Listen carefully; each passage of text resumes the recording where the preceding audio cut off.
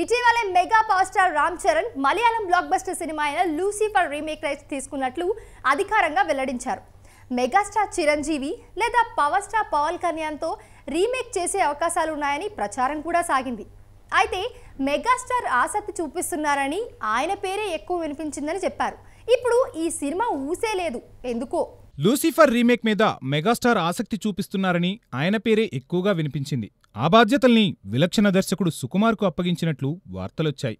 ఇదే విషయాన్ని చరణ్ సుకుమార్ దృష్టికి తీసుకెళ్ళగా సుక్కు ఆసక్తి కనపరచలేదని క్లోజ్ సోర్సెస్ చెప్తున్నాయి. దీంతో చిరంజీవి కూడా కొన్నాళ్ళపాటు ఆ ప్రాజెక్టును ఆపేద్దామని చెప్పారట. మరి ఇందులో వాస్తవమెంత? అన్నది తెలియాల్సి ఉంది. సుకుమార్ ఇప్పటివరకు రీమేక్ కథలు డైరెక్ట్ చేసింది లేదు. ఆయన సొంతంగా కథలు రాసుకుని సినిమాలు చేస్తారు. రొటీన్కి భిన్నంగా ఉండే దర్శకుడు. హాలీవుడ్ సినిమాలు స్ఫూర్తి తీసుకున్నా మనదైన నేటివిటీ మిస్ చేయడు. సహజంగా సొంత కథలు రాసుకునే సత్తా ఉన్న దర్శకులెవరూ ఇలా రీమేక్ల వైపు పెద్దగా ఆసక్తి చూపరు. సొంత కథలో దొరికిన సంతృప్తి రీమేక్ కథల్లో దొరకదని బలంగా నమ్మేవాళ్ళలో సుకుమార్ ఒకరు. ఈ కారణాలే లూసిఫర్ రీమేక్పై వెనక్కి తగ్గేలా చేశాయట. ప్రస్తుతం సుకుమార్ అల్లు అర్జున్ చిత్రంతో బిజీ. ఎర్రచందనం స్మగ్లింగ్ నేపథ్యంలో చిత్తూరు బ్యాక్డ్రాప్లో ఈ సినిమా చేస్తున్నారు. ప్రస్తుతం ఆయన ఈ ప్రాజెక్ట్పైనే సీరియస్గా వర్క్ చేస్తున్నారు.